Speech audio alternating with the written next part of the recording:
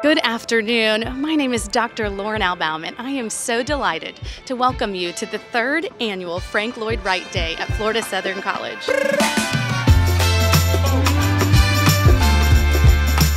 As you know, classes have been canceled for the day, and we have organized a variety of activities to help you relax and re energize so that each of you can end the semester strong.